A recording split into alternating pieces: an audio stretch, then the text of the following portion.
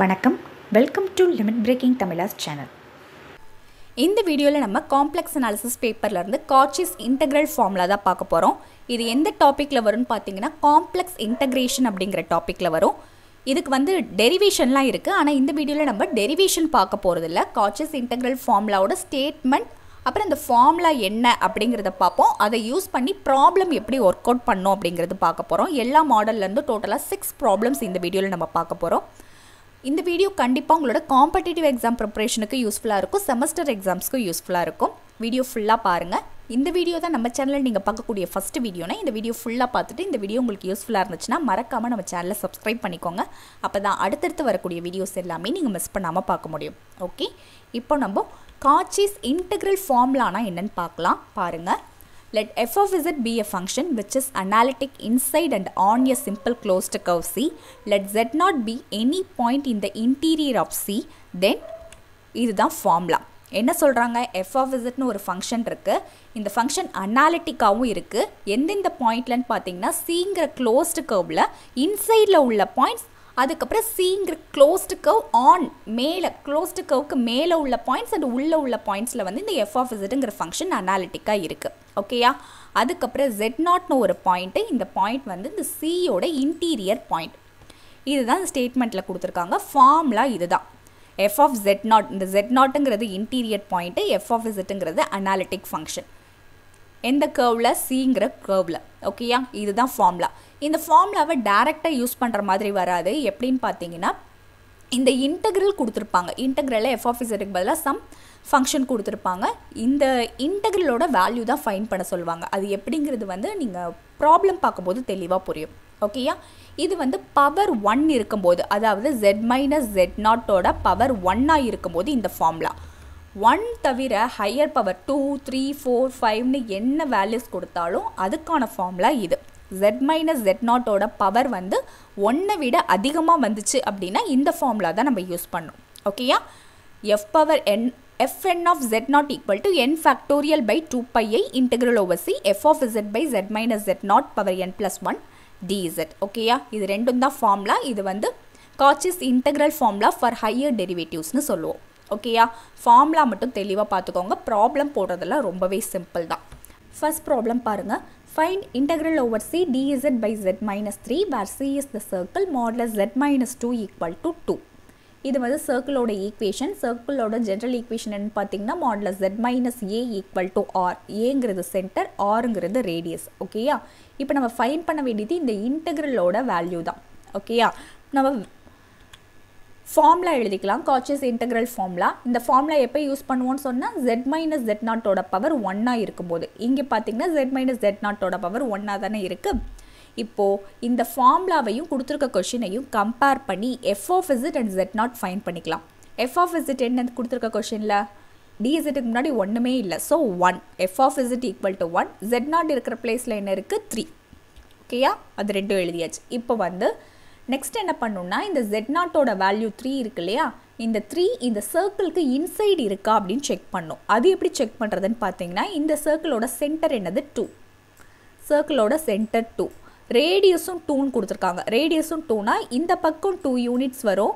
அதே மாதிரி இந்த பக்கமும் டூ யூனிட்ஸ் வரும். ஒரு ரியல் லைன் எடுத்துக்கிட்டிங்கன்னா இங்கே டூ சென்டர்னால் இந்த பக்கம் த்ரீ அண்ட் ஃபோர் வரும். இந்த பக்கம் ஒன் அண்ட் ஜீரோ வரும். ஜீரோ டு ஃபோர் வரைக்கும் உள்ளது எல்லாமே இந்த சர்க்கிள்குள்ளே இருக்கும். இங்கே நமக்கு ஜெட் நாட் என்னன்னு கிடச்சிச்சு? த்ரீ அப்போ த்ரீ வந்து இந்த சர்க்கிளுக்கு இன்சைடில் இருக்கா?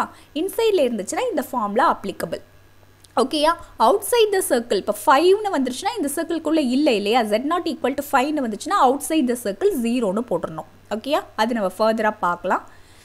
இப்போது the point z naught equal to three lies inside C okay இப்போ நம்ம இந்த இன்டெகிரலோட வேல்யூ தான் ஃபைன் பண்ணோமா? அதை எடுத்து எழுதிக்கலாம். இது எப்படி இந்த ஃபார்முலாலேருந்து ஃபைன் பண்ணோம்? Two pi i into F of z naught find பண்ணால் போதும். டூ பைஐ இன்ட்டு இங்கே ஜெட் நாட்டோட வேல்யூ என்னது? த்ரீ அப்போ எஃப் ஆஃப் த்ரீ கண்டுபிடிக்கணும்.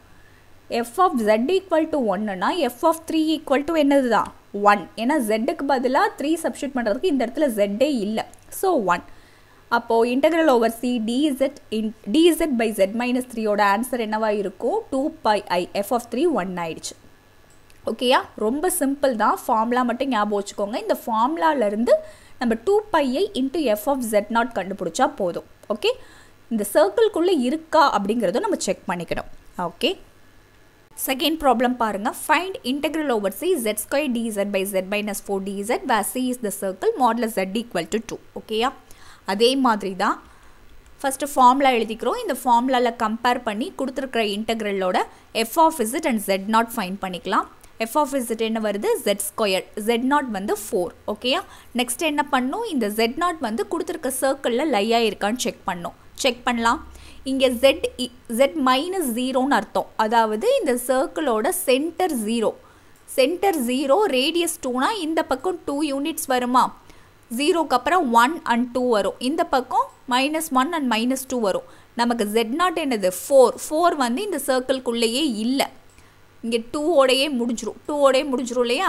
அப்போ இதுக்குள்ளே இல்லை அப்படின்னா இது outside the circle the point z naught equal to four lies outside the circle outside the சர்க்கிள்னா அந்த இன்டெக்ரலோட வேல்யூ ஈக்குவல் டு ஜீரோ ஓகேயா சிம்பிள் தான். இன்சைட் த சர்க்கிளாக இருந்தால் தான் ஃபர்தராக இந்த ஃபார்முலா யூஸ் பண்ணி நம்ம ஃபைன் பண்ணோம் அவுட் சைட் த சர்க்கிள்னு வந்துருச்சுன்னா ஈக்குவல் டு ஜீரோன்னு முடிச்சிடணும். ஓகேயா ரொம்ப சிம்பிள் தான். அடுத்தது பார்க்கலாம். நெக்ஸ்ட் ப்ராப்ளம் பாருங்கள் find integral over C e power z by z minus one into z plus two dz where C is the circle modulus z minus one equal to one நமக்கு இங்கே கொடுத்துருக்க இன்டெக்ரலில் பார்த்தீங்கன்னா டினாமினேட்டரில் ரெண்டு டேர்ம்ஸ் இருக்குது z minus jet naught ரெண்டு term இருக்குது ரெண்டும் ப்ராடக்ட்டில் இருக்குது இது மாதிரி ப்ராடக்ட்டில் வந்துருச்சுன்னா ஃபஸ்ட்டு நம்ம பார்ஷியல் ஃப்ராக்ஷன் யூஸ் பண்ணி ஸ்ப்ளிட் பண்ணோம். ரெண்டு டேர்மாக ஸ்ப்ளிட் பண்ணோம். அதுக்கு என்ன பண்ணுவோம்? நியூமரேட்டரை வந்து ஒன்னு வச்சுட்டு டினாமினேட்டர் மட்டும் எடுத்து ஸ்ப்ளிட் பண்ணுவோம். இந்த மாதிரி தானே பண்ணுவோம். A by first term B by second டேம்னு பிரிப்போம். அதுக்கப்புறம் எல்சிஎம் எடுத்து கிராஸ் ப்ராடக்ட் பண்ணுவோம். எல்சிஎம் எடுக்கிறதுக்காக தான். பண்ணிங்கன்னா என்ன கிடைக்கும்? One equal to A into z plus two plus B into z minus ஒன்னு கிடைக்கும். இப்போ ஏ வேல்யூவும் பி வேல்யூவும் ஃபைன் பண்ணுறதுக்கு first z equal to one substitute பண்ணோன்னா இந்த பி டேம் ஜீரோ ஆகிடும் பி டேம் ஜீரோ ஆகிடுமா என்ன கிடைக்கும்? இந்த டேமில் இங்கே ஜெட்டுக்கு பதிலாக ஒன் சப்ஸ்டியூட் பண்ணுவோம். அப்போ த்ரீ ஏ ஈக்குவல் டு ஒன்னு கிடைக்கும். A equal to one by three அதே மாதிரி மைனஸ் டூ சப்ஸ்டியூட் பண்ணும்போது இந்த டேம் ஜீரோ ஆகிடும் ஜீரோ ஆகி பியோட வேல்யூ என்ன கிடைக்கும்? மைனஸ் ஒன் பை த்ரீன்னு கிடைக்கும். இப்போ இது ரெண்டுத்தையும் கொண்டு வந்து இதில் சப்ஸ்டியூட் பண்ணிக்கலாம்.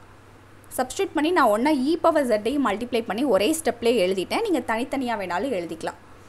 ஒரே ஸ்டெப்பில் எழுதும்போது என்ன கிடைக்குது? E power z by z minus one into z plus டூவை எப்படி எழுதிட்டோம்?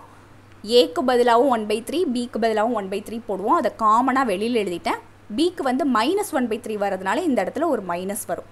ஓகேயா இ பவர் ஜெட்டையும் மல்டிப்ளை பண்ணி ஒரே ஸ்டெப்பில் எழுதியாச்சு. இதுக்கப்புறம் நம்ம என்ன பண்ண போகிறோம்னா இன்டெக்ரல் எடுக்க போகிறோம் ஓகேயா அதை அடுத்த ஸ்லைடில் பார்க்கலாம் பாருங்கள் integral over C e power z இப்போ இது ரெண்டு டேமாக ஸ்லிப் ஸ்ப்ளிட் ஆகிடுச்சு இப்போ இதுக்கு தனியாகவும் ஃபார்முலா யூஸ் பண்ணோம் இதுக்கு தனியாக ஃபார்முலா யூஸ் பண்ணோம்.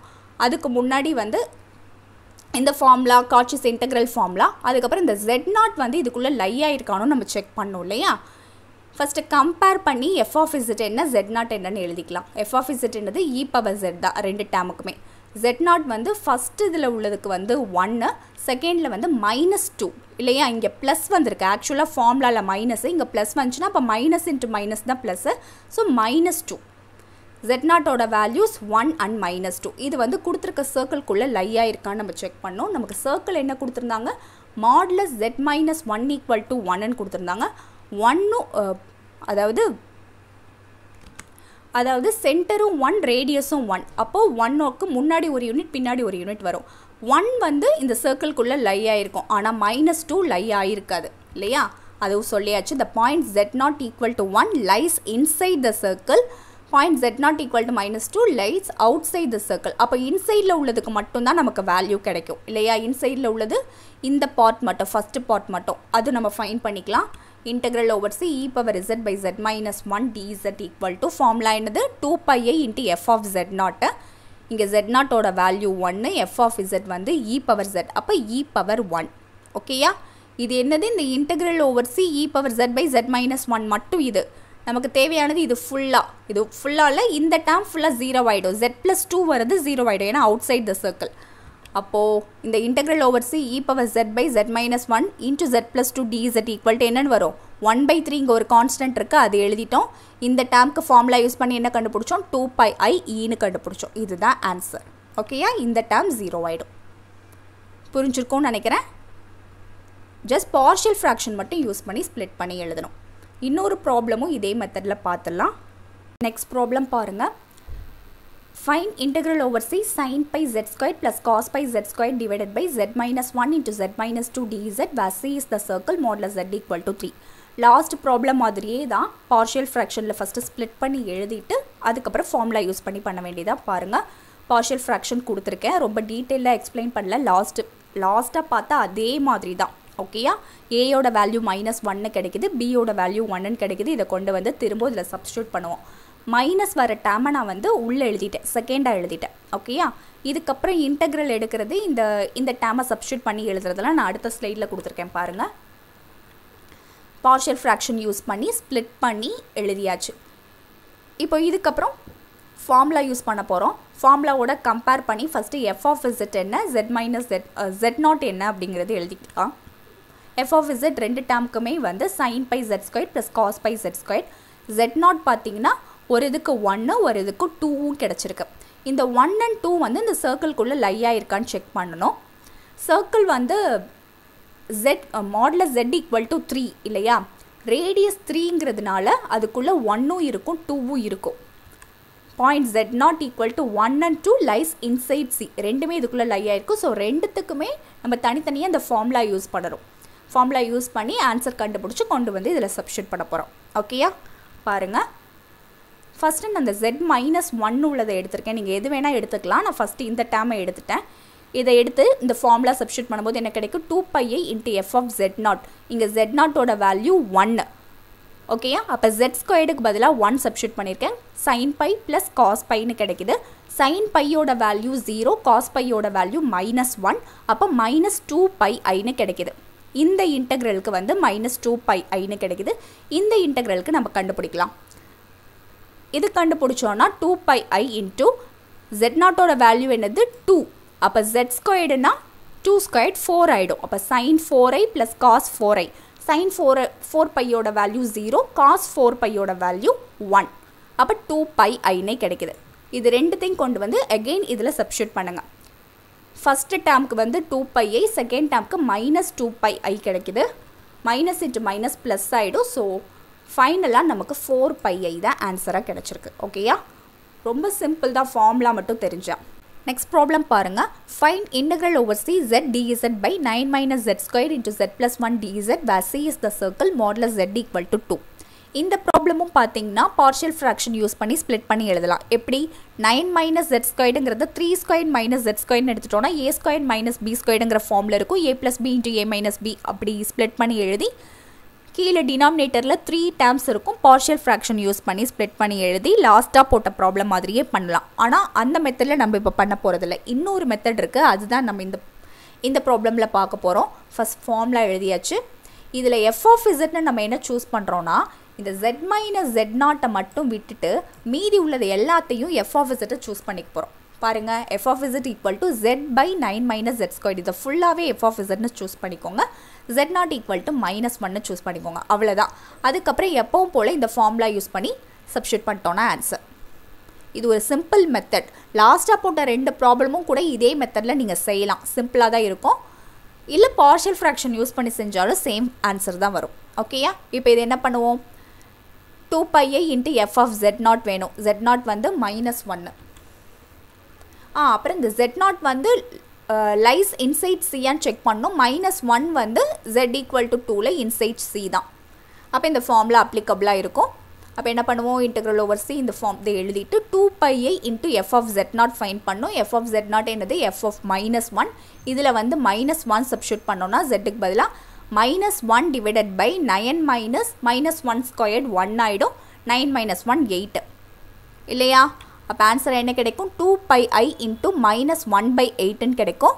அப்போ minus pi i by four தான் ஆன்சர் ஓகேயா இது ஒரு சிம்பிள் மெத்தட் பார்ஷியல் ஃப்ராக்ஷன் பண்ணுறது ரொம்ப பெருசாக இருக்குது அப்படின்னு நினைக்கிறவங்க இந்த மெத்தடில் பண்ணலாம்.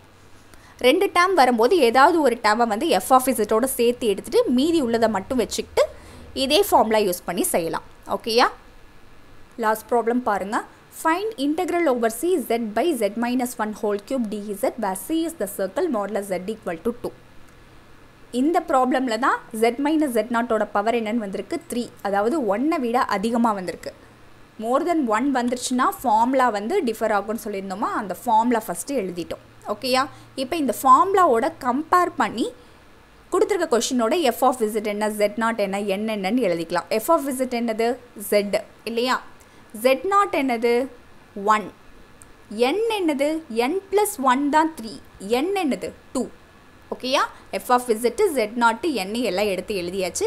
இப்போ இந்த ஜெட் நாட் வந்து லைஸ் இன்சைட் த சர்க்கிளான்னு செக் பண்ணும் இல்லையா? ஜெட் நாட் ஈக்குவல் டு ஒன்று இங்கே z equal to two radius டூங்கிறதுனால கண்டிப்பாக இந்த ஒன் வந்து இன்சைட் த சர்க்கிள் இருக்கும். ஓகேயா அப்போ இந்த ஃபார்முலா அப்ளிகபிள் இதை செக் பண்ணிட்டு தான் ஒவ்வொரு ப்ராப்ளமும் நம்ம செய்யணும். ஓகே இப்போ இந்த ஃபார்முலா நமக்கு கிடச்சிரும். இந்த ஃபார்முலாவில் இந்த இன்டெக்ரல் ஈக்குவல் டுன்னு எழுதும்போது என்ன எழுதுவோம்? Two pi i into f எண்ணுக்கு வந்து டூ சப்ஸ்டியூட் பண்ணுவோம். அப்போ f double dash of z naught divided by இந்த என் கீழே வருமா? என் ஃபேக்டோரியலில் எண்ணுக்கு பதிலாக டூ சப்ஸ்டியூட் பண்ணோம்னா டூ ஃபேக்டோரியல் ஓகேயா இதை தான் நம்ம ஃபைன் பண்ணோம். இது ஃபைன் பண்ணுறதுக்கு f double dash of one கெ கிடைக்கணும் இல்லையா? ஃபஸ்ட்டு எஃப் ஆஃப் இசிட் என்னது z f dash of z என்ன வரும்? One f double dash of Z zero F double dash of ஜெட்டே ஜீரோனா எஃப் டபுள் டேஷ் ஆஃப் ஒன்னும் என்னது தான் ஜீரோ ஓகேயா இப்போ இதை கொண்டு வந்து இதில் சப்ஸ்டியூட் பண்ணும்போது டோட்டலாக இந்த இன்டெக்ரல் ஈக்குவல் டு ஜீரோன்னு வந்துடுது ஆன்சரே ஜீரோ தான். ஓகேயா ரொம்ப சிம்பிள் தான். ஜஸ்ட் ஜெட் மைனஸ் ஜெட் நாட்டோட பவர் என்ன வருதுன்னு செக் பண்ணிட்டீங்கன்னா அதுக்கான ஃபார்முலா மட்டும் யூஸ் பண்ணிங்கன்னா போதும். மற்றபடி எல்லாமே ஒரே மாதிரி தான். ஓகேயா புரிஞ்சிருக்கோன்னு நினைக்கிறேன். இந்த ஃபார்முலா யூஸ் பண்ணி நான் ஒரே ஒரு வீடியோ தான் ஒரே ஒரு ப்ராப்ளம் தான் இந்த வீடியோவில் நான் கொடுத்துருக்கேன். நிறைய ப்ராப்ளம்ஸ் எடுத்து நீங்களே ஒர்க் அவுட் பண்ணி பாருங்கள் அப்போ தான் இன்னும் கான்செப்ட் கிளியர் ஆகும். ஓகேயா இந்த வீடியோவில் நம்ம காம்ப்ளெக்ஸ் அனாலிசிஸ் பேப்பர்லேருந்து காம்ப்ளெக்ஸ் இன்டகிரேஷன் அப்படிங்கிற டாப்பிக்லேருந்து காட்சிஸ் இன்டெக்ரல் ஃபார்முலா யூஸ் பண்ணி வரக்கூடிய ப்ராப்ளம்ஸ் எல்லாம் பார்த்தோம். இந்த ப்ராப்ளம்ஸ் எல்லாமே பார்த்தீங்கன்னா செமஸ்டர் எக்ஸாம்ஸ்க்கும் உங்களுக்கு யூஸ்ஃபுல்லாக இருக்கும். காம்படிட்டிவ் எக்ஸாம்ஸ்க்கும் யூஸ்ஃபுல்லாக இருக்கும். பிஜிடிஆர்பி நெட் எக்ஸாம் செட் எக்ஸாம்லலாம் பார்த்தீங்கன்னா இந்த டாப்பிக்லேருந்து உங்களுக்கு எம்சிக்யூஸ் கேட்டிருக்காங்க ஆல்ரெடி அதனால தான் இந்த டாப்பிக்கை தெளிவாக தெரிஞ்சுக்கணும் கான்செப்ட் கிளியராக இருக்கணுங்கிறதுக்காக தனியாக எல்லா மாடல்ல இருந்தும் ப்ராப்ளம்ஸ் ஒர்க் அவுட் பண்ணி தனி வீடியோவாக கொடுத்துருக்கேன். இந்த வீடியோ கண்டிப்பாக உங்களுக்கு யூஸ்ஃபுல்லாக இருந்திருக்கும்னு நம்புகிறேன் இந்த வீடியோ உங்களுக்கு யூஸ்ஃபுல்லாக இருந்துச்சுன்னா மறக்காமல் இந்த வீடியோக்கு ஒரு லைக் கொடுங்க. இந்த வீடியோ வேறு யாருக்கெல்லாம் யூஸ் ஆகும்னு நினைக்கிறீங்களோ உங்கள் எல்லாருக்குமே ஷேர் பண்ணுங்கள் இதே மாதிரி நிறைய வீடியோஸ் தொடர்ந்து நம்ம சேனலில் வந்துகிட்டே இருக்கும். அது எல்லாமே மிஸ் பண்ணாமல் பார்க்குறதுக்கு நம்ம சேனலை சப்ஸ்கிரைப் பண்ணிக்கோங்க. தேங்க்யூ ஃபார் வாட்சிங்